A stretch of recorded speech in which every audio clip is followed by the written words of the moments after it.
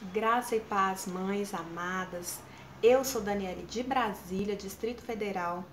Faço parte do Ministério Mães Unidas em Oração Internacional. E os meus filhos e escolas adotadas por mim estão inscritos na nossa rede mundial de oração. Hoje eu quero compartilhar com vocês a nossa ênfase diária, que está baseada em Provérbios 14, versículo 1, que diz: a mulher sábia edifica sua casa, mas com as próprias mãos a insensata derruba a sua. Hoje nós oramos por nós, mães, para que nós sejamos sábias na edificação de nossos lares. Oramos para que tenhamos a sabedoria divina para transformar as nossas casas em lares, onde é possível que as pessoas sintam a presença de Deus. Oremos.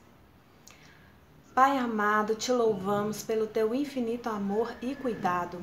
Somos gratas por essa palavra que tão amorosamente o Senhor nos deixou. Somos gratas pela responsabilidade que o Senhor confiou a nós e por sermos as pessoas que o Senhor escolheu dentro de nossas casas para torná-las ainda mais agradáveis para todos.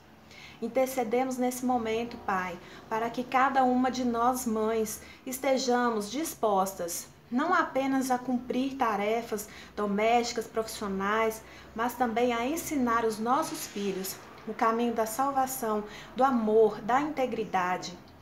Que o Senhor esteja com cada uma de nós, nos fortalecendo, nos ensinando diariamente a edificar os nossos lares com carinho, cuidado, e muito amor e de acordo com os teus preceitos.